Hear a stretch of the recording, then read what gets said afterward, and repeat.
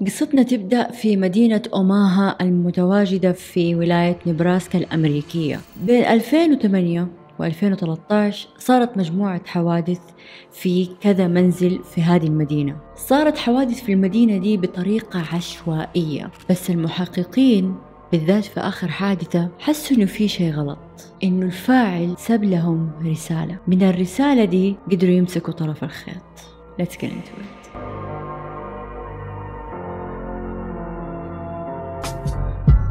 السلام عليكم أنا لما أهلا وسهلا فيكم في فيديو تاني في قناة الآن. زي ما ذكرت في المقدمة قصتنا اليوم تتكلم عن مجموعة أحداث غريبة في مدينة أوماها. فتعالوا نتكلم عن الأحداث دي ومين ممكن يكون فاعلها. وهنت بسيط القصة هذه سولفد بمعنى عندنا منزل عائلة هانتر. عائلة هانتر فيها الأب والأم وأربع أبناء من ضمنهم ولد عمره 11 سنة اسمه توم. أو تومي زي ما يدلعوه. والمدبرة حقة المنزل اللي تشتغل عندهم part time أو دوام جزئي. والمربية اسمها شيرلي. يوم 13 من شهر March عام 2008 توم رجع من المدرسة وكان في تصوير لكاميرا المراقبة الموجودة جوا الباص مصورة توم وهو نازل منه. في ذا الوقت كان الأب في الشغل والأم في الشغل ومسافرة كمان لمدينة تانية. والأخوان الثلاثة كلهم برا البيت ما كان في في البيت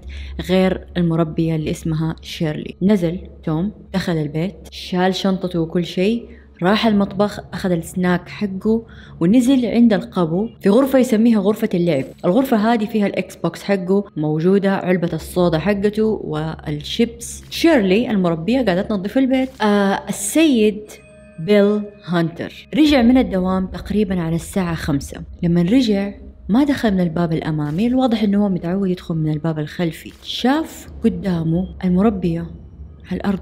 إذا بس رفعت عينك كده حتشوف توم. الاثنين تم طعنهم حتى الموت. انطعنوا انطعنوا لين ما ماتوا الأب فورا دق على 911 وقال لهم ييجوا. ولما جو مسكوا التحري اثنين من المحققين. دول المحققين ابغاكم مرة تفتكروهم كويس. وأنا اختصارا لكل شيء حناديهم بأبطالنا. المحققين دول أول شيء سووه لما دخلوا وفتشوا البيت كويس. القاتل ترك سكاكين في كذا مكان في البيت وعلى الضحايا. زي اللي داخل بهدف القتل. فوق ده كله على توم وعلى شيرلي الاثنين في علامات طعن نفس الطعن في جهة واحدة من الوجه. ورا بعض ورا بعض. فهمتوا كيف؟ المنظر واضح إنه اللي دخل حاقد ألف ومو معروف طيب من الهدف. هل هي المربية وتوم شاف أو العكس؟ أو الإثنين أو ما في هدف. قبل لا تفكروا إنه هذا بني آدم دخل عشان يسرق فأحب أقول لكم إنه هذا تاني شيء أستغربوا منه المحققين. ما في ولا شيء مسروق من بيتهم. البيت مليان مقتنيات. فوق ده كله فيه فلوس. واضح إنه اللي دخل ما يبغى يسرق يبغى يقتل. المحققين أبطالنا لما يعني جو كده يبغى يحطوا احتمالات قالوا هل ممكن توم عنده مثلا أحد في المدرسة بينه وبينه التار آه خسروا في لعبة من الألعاب يعني قاعدين يحطوا مليون احتمال ما في أي دي ان اي ما في بصمات ما في شيء أبطالنا قالوا طيب ليه ما نسأل الطبيب نفسه بيل نقول له هل عندك أعداء؟ سأل الأم سألوا كل شيء فبيقولوا له حاول تفتكر هل في شخص أنت مزعله؟ هل في ما أعرف إيه؟ هل هل هل؟ فقال لهم إنه لا ما أفتكر إنه في أحد يعني أنا مزعلة زي كده وراحوا وسألوا في المستشفى. يبغوا يعرفوا لأنه في بعض الأحيان في بعض الحالات يمكن الآن جت في بالك عوائل ما تتقبل إنه آه مريضهم أتوفى نتيجة إنه هو خلاص يعني جاء وقت إنه يتوفى لا. فالمحققين يمكن كان تفكيرهم زي كده عشان كده راحوا للمستشفى يبغوا يعرفوا. فاكتشفوا إنه ما في أحد إلا شخص واحد بس الشخص ده من زمان مشي من المستشفى من 2001 وإحنا بنتكلم عن 2008 لكن واحدة من الجيران قالت في ذا اليوم في سيارة هيونداي لونها silver فضي أول مرة تشوف السيارة دي في الحي حقهم. حيهم راقي نوعا ما وكل الناس تعرف بعض في ذاك الحي. فشكل السيارة والبني آدم اللي نازل من السيارة لفتها بشكل ما وما هي قادرة تنسى شكله حتى وصفت شكله والشرطة رسمت سكتش للبني آدم ده. وأنا ما أعرف السكتش ده أصلا ساعدهم ولا لا. على أي حال قضية عائلة هانتر فضلت unsolved كل الناس اللي كانوا في ذاك الحي بدأوا يخافوا لأنه كان يعني أي حي وأي مثلا مدينة ما عمره سمعتوا عنها مشاكل قتل صار ولا شيء أكيد إنهم حيفضلوا خايفين. غير طبعا عائلة هانتر اللي تبي تعرف ليش ابنهم ينقتل ليش بالوحشية دي؟ الوصف كان جدا وحشي في الضحايا. فكل الطرق أدتهم لطرق مسدودة. يعدي 2008 2009 10 11 12 13 في يوم الأم أعرفكم على عائلة تانية اسمها عائلة بيوترا.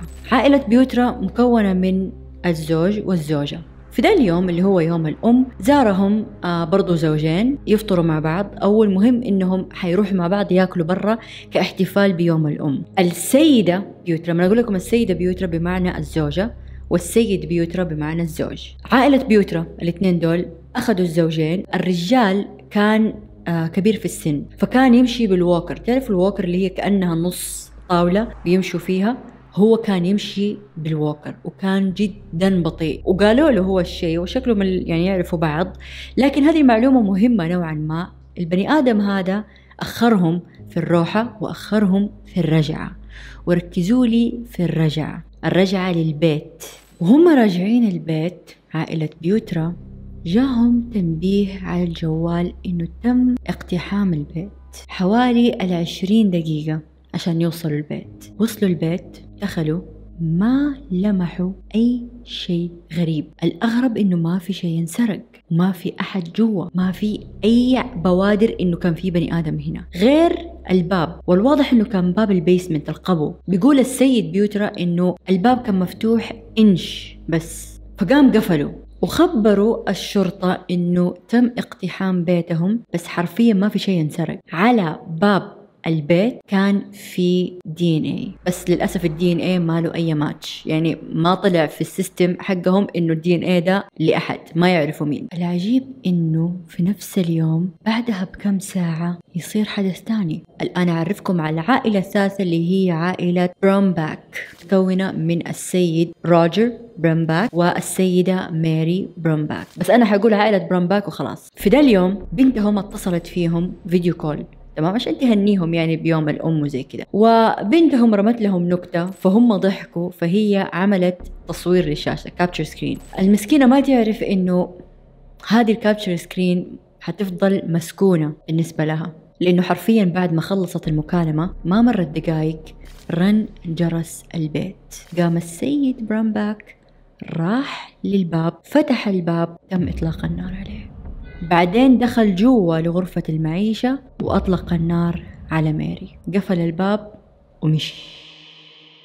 الجثث قعدت يومين في البيت ما حد يدري عنها حرفيا. بعد يومين جاء عامل خاص بنقل البيانو. الواضح إنه الاثنين كانوا يبغوا يبيعوا بيتهم لأنهم كانوا لابسين ملابس قديمة والواضح إنه كان في شوية تجديدات في البيت على أساس إنهم يبغوا يبيعوه. فمن ضمن الأشياء يمكن اللي باعوها أو يبغوا ينقلوها كان بيانو. فكان في واحد خاص جاء عشان ينقل البيانو. فلما جاء في الوقت المحدد قاعد يدق يدق يدق ما حد بيرد. فراح لين عند الباب وبدأ يدق وما حد بيرد. جاي يفك الباب يعني يشوف إذا انفك على الأقل بس يصرخ إنه يا جماعة أنا جيت. لاحظ إنه في على الباب المخزن حق المسدس. هنا حس بالقلق واتصل على الشرطة وقال لهم كده كده كده كده في مخزن مسدس عند الباب. جات الشرطة ومين جاء معاها؟ المحققين الأبطال حقينا لما دخلوا البيت لقوا إنه السيد برامباك قريب من الباب. يعني الواضح إنه انفتح الباب. اللي كان بيتكلم معاه يا إنه دخل يا إنه على طول طلع المسدس. عشان كده السيد برامباك بعد شوية ورا. حتى في في الباب شوفوا بين الباب من جوا والباب من برا في فراغ. في الفراغ هذا لقوا البيت حق الرصاصة. ودي المرة الثالثة اللي يصير فيه حدث يتم اقتحام بيت وما يتم سرقة شيء منه. في مقتنيات كثير يعرف ضحاياه كويس. هنا بدأوا المحققين يقولوا إيش فيه؟ هذه تاني حادثة تصير اليوم. أول شيء اقتحام منزل بيوترا. دحين دولة. المحققين ما كان في شيء في بالهم. إلين شافوا شيء واحد وحسوها زي الرسالة. في عليهم علامات طعن. واحد من المحققين دول لما ركز كويس جاب زميله قال له تعال الشكل ده ما يذكرك في شيء. كان على الضحايا الاثنين علامات طعن هنا. المحقق أول ما شاف المنظر ده ما قدر ينسى أبدا وفجأة جاء في باله مين تومي وشيرلي اللي ماتوا في 2008 في منزل عائلة هانتر. أسلوب القتل واحد وكأنها رسالة. الضحايا دول مو خلاص ماتوا أطلقت النار عليهم. ليش تطعن؟ لما بعد شوية المحقق وبدأ هو وزميله يطالعوا في الضحايا قالوا في شيء مشترك. إلين لاحظ شيء المحقق. الدكتور هانتر ومنزل برامباك الاثنين أطباء. مو بس كده الاثنين بيشتغلوا في نفس المستشفى أو في نفس المجمع الطبي في نفس القسم. بيشتغلوا. بيل هانتر كان المسؤول عن المقيمين في الجامعة. هي زي مستشفى الجامعة أو مجمع طبي تابع لجامعة فهمتوا كيف؟ لكن روجر برامباك اللي مات هو وزوجته كان رئيس قسم. قالوا بس الإجابة حنلاقيها هناك في دي المستشفى. المستشفى دي اسمها كريتن هذه هي زي ما سموها هم نبض مدينة أوماها. ما في أحد إلا وجاء تعالج فيها. آه كل اللي يدرسوا طب كلهم اشتغلوا فيها كلهم درسوا فيها. فعشان كده المستشفى دي يعني زي معلم أو شيء مهم في دي المدينة. هنا المحققين راحوا عاد بعين تانية. رايحين وقاعدين يدوروا على شخص حاقد. هل الشخص ده زميل ولا الشخص هذا طالب؟ بس ما تم ذكر إنه الاثنين دول يسووا عمليات أو جراحة. يعني واحد مسؤول عن المقيمين اللي هناك واحد مسؤول عن قسم الأمراض. يعني مو إنه مثلا واحد فيهم سوى عملية وفشلت ومات الشخص ده. فاتخيلوا راحوا أبطالنا الاثنين طلعوا جميع الملفات والتقارير لجميع الأشخاص اللي كانوا بيشتغلوا هنا وخرجوا من عام 2000 لين 2013 طاحت عينهم على أحد الملفات. الملف لشخص اسمه أنثوني غارسيا. كان طالب في المستشفى دي. ومين أستاذ أنثوني غارسيا؟ شوندا بيوترا. فاكرين عائلة بيوترا اللي تم اقتحام بيتهم بس هم ما كانوا جوا؟ إيوه. شكله القاتل كان يبغى يدخل يقتلهم ولما ما لقاهم مشي. طبعا بعد ربنا يعني. كله بفضل هذا الضيف اللي كان جدا بطيء اللي خلاهم يطولوا. عبال يرجعوا عائلة بيوترا قالوا إنه لو إحنا رجعنا بدري كان زماننا ميتين ولا كنتوا عارفين أي شيء عن الموضوع. أنثوني غارسيا من الأشخاص اللي في 2001 تم طرده من الجامعة. المحققين بيقولوا ما يبغى لها دكتور ما يبغى لها آه، محقق. التقارير باينة وضوح الشمس. أي أحد يمسك تقارير أنثوني حيشوف إنه البني آدم ده جدا أكاديميا فاشل. هذا كلام بيوترا وبيوترا وصلت الكلام ده للدكتور هانتر والدكتور برامباك الدكتورة بيوترا بتقول أنثوني كان طالب سيء وشخص سيء غير إنه اكاديميا كمان غير professional ابدا ما هو حريص على شغله. وصفت أنثوني إنه كان إنسان كأنه طفل بس لابس روب زي اللي مو واخد عمله من جد. ما قالت بالضبط إيش كان يسوي لكن التقارير كانت باينة قدام الكل في جميع أدائه كان سيء. عشان كده هي وصلت الموضوع إنه الولد هذا ما حينفع إنه هو يكمل. ولما شافوا هانتر وبرامباك إنه فعلا الولد ده ما حينفع عشان كده فصل نهائي من الخدمة. بمعنى أنثوني غارسيا ما يقدر يشتغل طبيب في أي مكان. فانطرد 2001 من المجمع ده حق جريتن اللي هو أهم مكان في مدينة أوماها بس دقيقة مين أنثوني غارسيا؟ أنثوني يا جماعة حسب كلام أهله وأخوه إنه كان جدا جدا جدا طموحه يصير جراح مخ أبوه جدا كان فخور فيه. أمه كانت بتشتغل في التمريض على ما أظن. أبوه كان يشتغل شغلانة تانية لكن طموحه فوق فحرفيا في عام 1999 أول شيء عمله إنه أخذ أغراضه وكانت أول مرة إنه يترك البيت وخلاص يروح يقيم في أحد آه، زي السكن الجامعي عشان يدرس أو يبدأ في مشواره. الطبي وكانت أول وجهة له في نيويورك. لكن ما طول هناك ورجع تاني بيت أهله. قال لهم الموضوع ما مشي. أمه وقتها بتقول أنا ما كنت عارفة إيش السبب. لكن السبب كان إنه أنثوني ما هو بروفيشنال في شغله ابدا. بمعنى يعني مو تحسوه كده مو آه ما يتقن عمله. فهمتوا كيف؟ يحب شغله إيوه بس مو مشيه كويس. تبهلل الموضوع. غير إنه صرخ على أحد الدكاترة هناك في قسم الأشعة. الأم قالت لما رجع البيت كان واضح عليه إنه مضغوط متضايق. لكن اللي حلو إنه هو ما استسلم وقال أنا حاسوي فرصة تانية وهذا لما دخل ل آه، جامعة بريتن وهنا زي ما قلت لكم لما سووا له فصل نهائي. طبعا هذا الفصل بمعنى إنك ما تحاول إنك تاخذ أي ترخيص إنك تمارس مهنة الطب في أي مكان حسب كلامهم. وبرضه رجع البيت وقال لأهله الموضوع ما مشي. ولكن برضو ما أستسلم وراح لولاية تانية وقدم على رخصة طبية قدر ياخدها كيف ما نعرف ولكن برضو الرخصة دي ما صارت صالحة. جرب يشتغل في العيادات جرب يشتغل في القسم الطبي في السجون. الولد ما وقف. فواضح عليه إنه مو شيء واحد حيوقفه. قاعد يحاول يحاول يحاول. في جميع الأماكن والمستشفيات اللي كان بيحاول إنه هو يدخل أو ياخذ ترخيص فيها كانت ترفضه لإنه كانوا يعرفوا إن البني آدم ده تم منعه تماما من المهنة اللي هو فيها. فما كانوا يعطوا له الترخيص. كانت هذه الأماكن ترسل طلبات معينة لجامعة جريتن أو مستشفى جريتن. فالرد اللي كان يجي من جريتن كان كله سلبي. الدكتورة بيوترا كانت بتقول إحنا ما نبغى نقطع رزقه بس ما ينفع يكمل. يعني ما ينفع يكذب ويقولوا لا okay هو تمام. لا ما ينفع. فضل هذا الوضع زي كده إلين ما وصلنا لعام 2013 العام اللي ماتت فيه عائلة برامباك وكمان تم اقتحام بيت عائلة بيوترا الاثنين في نفس اليوم. في هذه السنة راح ونقل لولاية إنديانا. جاب بيت وكمان عنده سيارة فيراري. وقدم على شغل في أحد السجون. وقبلوه بس طردوه بعدها. يعني حرفيا كل ما يدخل مكان ينطرد. عشان كذا المحققين شافوا الواضح أن الولد هذا كان عنده نية في الانتقام.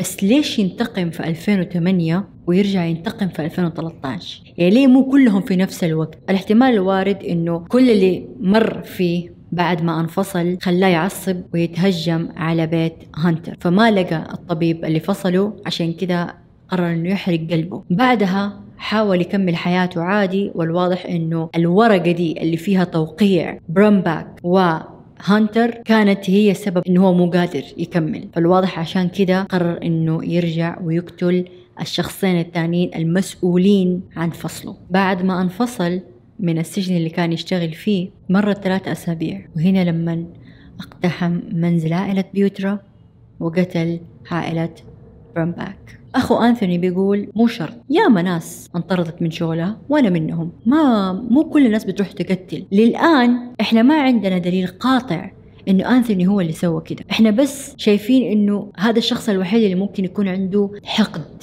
على الأشخاص دول. لكن المحققين حقينا شايفين إنه ده المشتبه به رقم واحد. قرروا إنهم يروحوا يفتشوا بيته أو يتكلموا معاه في بيته الموجود في ولاية إلينوي بس ما كان جوا البيت وما يمديهم يدخلوا البيت يفتشوه بدون إذن. المحقق حقنا لما أخذ نوع السيارة اللي شافتها الجارة في 2008 طلع المعلومات عرف إنه السيارة دي كانت تحت اسم أنثوني غارسيا. يعني سيارة أنثوني اللي كانت في الشارع حق بيت الهانتر فالواضح دي سيارة تانية يمكن هو مستأجرها ولا استأجرها بس ذاك الوقت. الحين أبطالنا يبغوا يعرفوا البني آدم ده فين كان في يوم الأم. خلاص اللي صار في 2008 يعني ممكن ما يفتكروا. فبما إنه 2013 الموضوع كان شوية قريب يبغوا يعرفوا هو فين كان في ذا اليوم. دخلوا على سجلات الهاتف وشافوا كل الاتصالات اللي سواها وفين سواها. عرفوا إنه كان قريب أو على حواف مدينة أوماها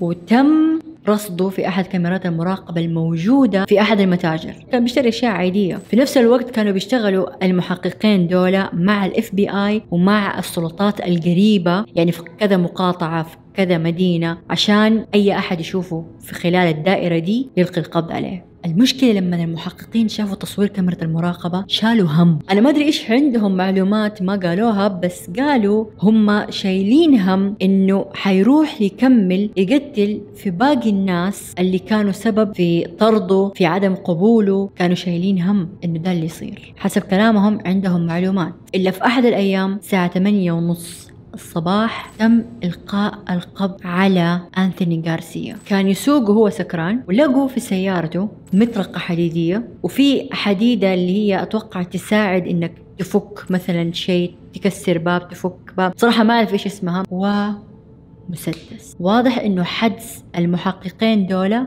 كان حقيقي. شكله كان رايح للضحية اللي بعدها. كل البحث اللي سواه أو أغلب البحث اللي سواه في جوجل كان كلمة انتقام بطرق كثير. شكله من أول ما انطرد إلين ما شاف إنه كل مكان مو قاعد يعني يقبله بدأت فكرة الانتقام. دخلوا بيته. بيته كان واضح عليه ما في عفش زي اللي ما كان ناوي يرجع البيت. لكن كان في نوع من الفوضى في بيته ألا وهي طاولة الطعام. كان فيها مستندات كثير. المستندات دي كانت شهاداته الأشياء اللي درسها الأشياء اللي آه، مارسها. الصك حق المنزل أشياء كثير. في الحوض حق المطبخ. كان في كيس قمامة أسود كبير كان في كمان جوا مستندات تانية والواضح إنه كان مغطسها في مادة معينة عشان تخرب. لكن قدروا إنهم يشيلوا الورق هذا قبل لا يصير فاسد تماما وكان الورق ده فيه كلام تحس قاعد يخطط. مكتوب انتقام قتل خطف اقتحام قتل العائلة الفلانية كلمات زي كذا كلمات طالعة من قلب شخص. حاقد. زي اللي كان قاعد يفكر إيش حيسوي next بس تعرفوا اللي كان حاطط بس كلمات تلميحات مو كاتب الموضوع كامل. من ضمن الأشياء كمان اللي كانت في الكيس التقارير. تخيلوا اللي فصلته في 2001 اللي كانت بتوقيع الدكتورة بيوترا. كل التقارير السيئة عنه. زائد تقرير فصله اللي متوقع من السيد هانتر والسيد برامباك. وأزيدكم كمان من الشعر بيت. لقوا في علبة رصاص عنده. أخذوا الرقم التسلسلي حقها. وبعد فترة لقوا مسدس مرمي في أحد الحقول. كده على الطريق. الرقم التسلسلي حق المسدس ده طابق الرقم التسلسلي اللي على علبة الرصاص. هذا هو المسدس اللي قتل فيه عائلة برامباك. آخر عيلة. وأختم لكم الموضوع إنه ال DNA اللي كان على باب بيت عائلة بيوترا كان له.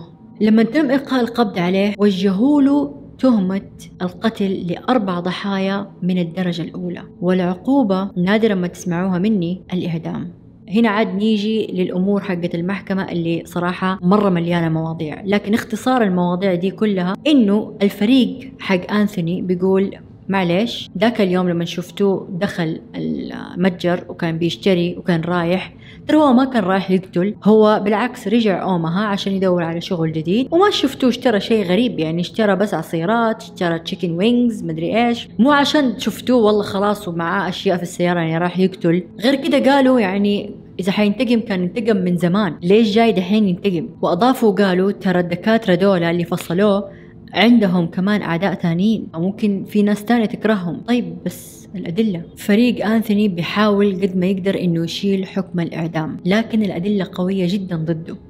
إلين ظهر شاهد واحدة اسمها سيسيليا. سيسيليا تشتغل في ملهى ليلي. الملهى ده كان أنثوني يعني زبون عندهم بس يروح هناك. آه عجبته سيسيليا بطريقة ما. فسيسيليا قالت لي. هي هم هي تسميه الدكتور كانت تقول له أنا مو نوع البنات اللي أنت تدور عليهم. ووصفت له إنه هي فين بتشتغل. أنت شايفني فين بشتغل؟ فأبدا يعني الاهتمام حقها مو اللي أنت بتدور عليه.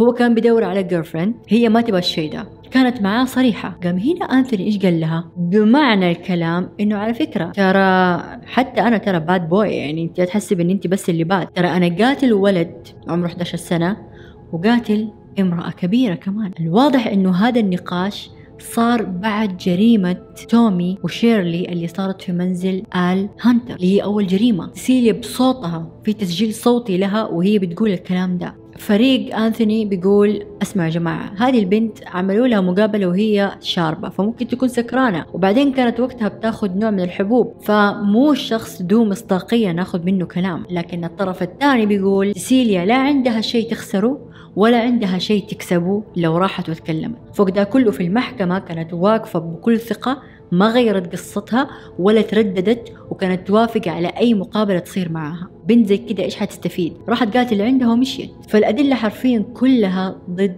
أنثوني غارسيا. 2018 أنثوني غارسيا مذنب لقتل أربع ضحايا من الدرجة الأولى والعقوبة الإعدام. لكن متى؟ ما نعرف. اللي يتابع قناتي نادرا جدا أقل من نادر كمان إن حكم الإعدام ينعمل لأنه مو كل الولايات فيها الحكم ده. زائد أنه كان عليه كمان أشياء تانية سواها. بعد الحكم ده كذا مرة طلب بيصير استئناف لكن يتم رفض استئنافه. للآن ما لقيت مكان كتب متى حيكون تنفيذ الحكم أو أي شيء جديد. هل قدام حيفاجئونا والله يقولوا أوف لا خلاص. انشال الحكم منه صار بس مدى الحياة مثلا أو حنعرف إذا هو تم فعلا تطبيق الحكم عليه ولا لا. اللحظة اللي خلتني يعني كده أفرح وأتقشعر في نفس الوقت إنه بعد ما خلصوا كلام في المحكمة وكله نادوا المحققين الاثنين. جابوهم قدام العوائل كلهم. عائلة هانتر وعائلة برامباك كانوا واقفين كلهم وقفوا كل القاعة وقفت قالت تصفق للمحققين دولا. كانت هذه قصة أنثوني غارسيا اللي قتل أربع ضحايا عشان الانتقام وتم نجاة واحدة من العوائل عشان عندهم كان ضيف جدا بطيء. إذا عجبتكم القصة أو الفيديو مو المأساة طبعا لا بس إنه يعني انشديتوا وقعدتوا تفكروا وتحققوا بينكم من بعض. كل اللي أبغاه منكم بس لايك وتحت رأيكم طبعا في الكومنتات. أبغى كمان تحرياتكم اللي كانت طالعة منكم. أشوفكم في فيديو جاي.